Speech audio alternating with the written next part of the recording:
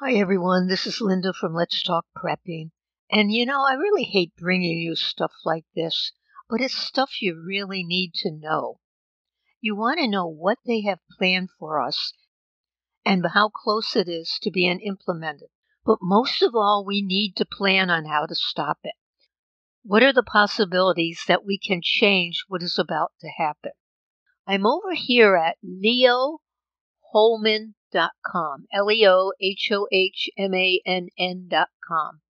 And we have bombshell video. Economist at World Government Summit says new financial world order about to shift in dramatic new direction. And the World Government Summit is underway this week in Abu Dhabi. And this is the first bombshell report. And this woman is Dr. Pippa Malmgren. And she was a special advisor to George Bush, and she's an expert on economics and technology. And she made a statement that confirms everything this myself, meaning Leo, and many other so called conspiracy theorists have been reporting for a long time that a cashless society is looming right around the corner. And her video is on March 30th, which would be yesterday.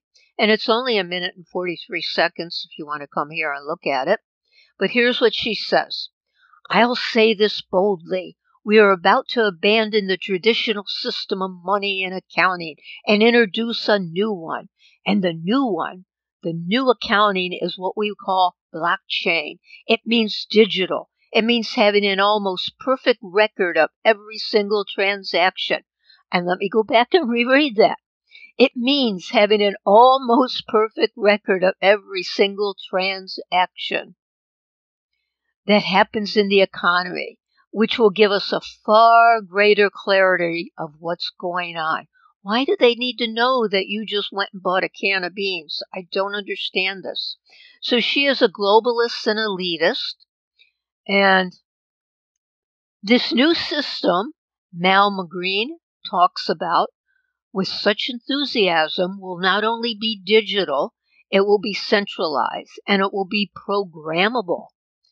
Do not confuse it with Bitcoin or other cryptocurrencies. The only thing it will share in common with other crypto is that it will be based on blockchain technology. So, what do I mean by programmable money? And that might be about the first time I've really heard this term.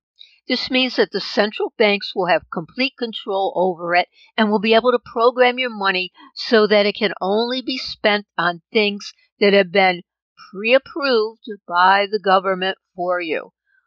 Let me reread that. Can only be spent on things that have been pre approved by the government for you personally. Or perhaps you will be able to spend your digital money on whatever you want, but after you purchase a certain amount, and you have reached your personal quota, probably based on that social media score they're trying to get for you. For example, ammunition, it shuts off. What you are allowed to spend your digitally pre programmed money on will depend upon, oh, there it is, your social credit score. This money will be linked to everyone's personal digital identity. The digital ID marks the other pillar of the new digital economy that they haven't really told you about yet. But if you read their documents at the World Economic Forum, you know it's coming. As I've stated before, the entire Great Reset hinges on two things the establishment of a global digital currency and a global digital identity for every man, woman, and child. And you know, it's really beyond me why they want to know what every person in the world is doing. And this woman, Pippa Malmgren, is warning us the system is at the door. And once it's here, it marks the beginning of the end because nobody will be allowed to buy or sell without becoming a digitized hybrid human being. I believe it will be possible for us to live outside the system for a while, but we need a plan, a network. We will need to live in a community with like minded refuseniks. He says the vast majority of people will walk blindly into this digital trap, only to regret it later. They will lose all autonomy over their bodies as well as over their minds. Critical thinkers will be banned from the system.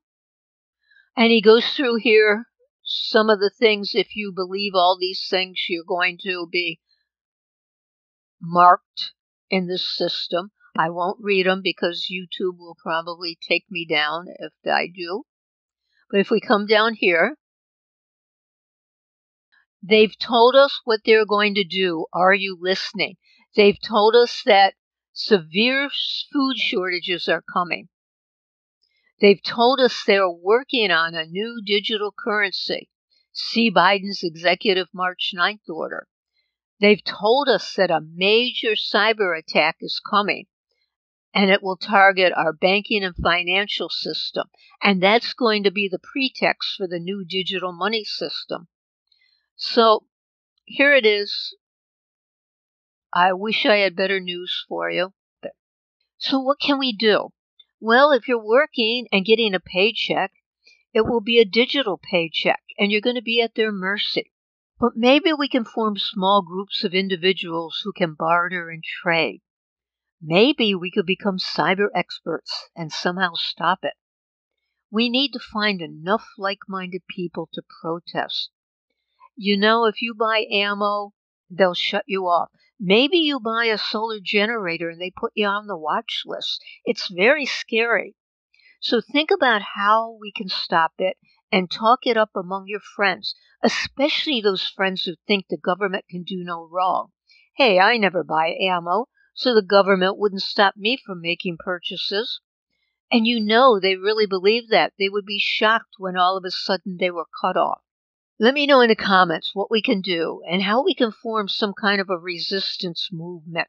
And be sure to subscribe and like the video. And thanks for watching and keep on prepping.